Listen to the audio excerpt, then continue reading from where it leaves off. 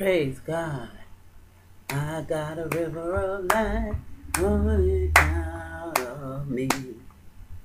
Make the lame to walk and the blind to see.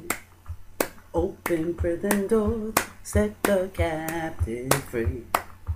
I've got a river of life flowing out of me. Spring up, oh well, within my soul.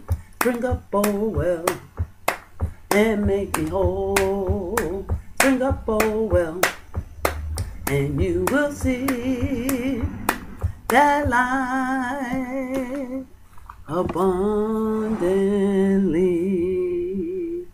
Hallelujah. Hallelujah.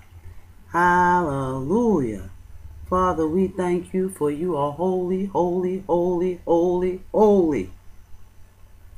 Thank you for loving us.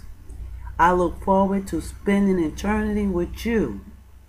I praise and worship you in Jesus' name.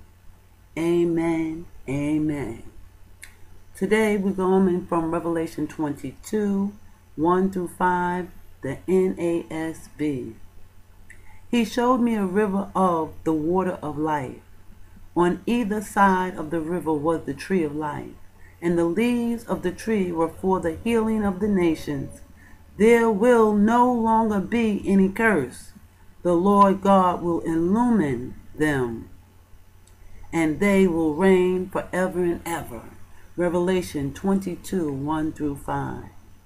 Believers who seek to witness to Muslims can find the barrier almost impenetrable. But one young believer living in Molo on the southeast coast of Africa found strong interest from a Muslim who was curious about Christianity and bold enough to ask questions. Praise God. He had been taught that paradise was a place dominant by wine and earthly pleasures. But this made no sense to him. As he talked with his Christian friend, he found the truth in the Bible's picture of heaven. As a result, he surrendered his life to Christ.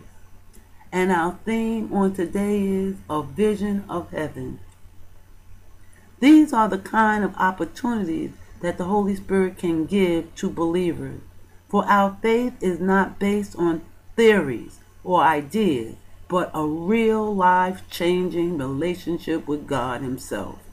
For we can know the truth and study the Bible. Believers are equipped not just with a picture of heaven, but actually can know God in a personal way. Amen. As this young Muslim discovered, the Bible presents real insight into God's nature. We see him not as a tyrant, but a loving father. And in Revelation, we see clearly his purpose for creation, how he desires to end sickness and the curse. We see God in all his glory, how he will illumine us with his presence, and we will reign with him forever. Amen.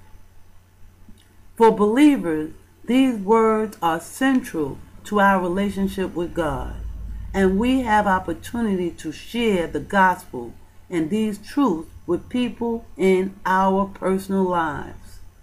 We can talk about God's love and his desires that we know him and experience the fullness of his blessings. Amen. Father, we thank you for loving us. I look forward to spending eternity with you in paradise.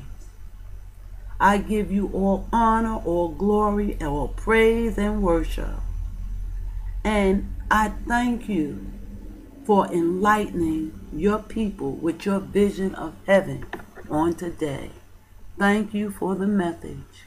In Jesus' precious name, amen, amen, and amen. Pastor Catherine signing out. Have a blessed day.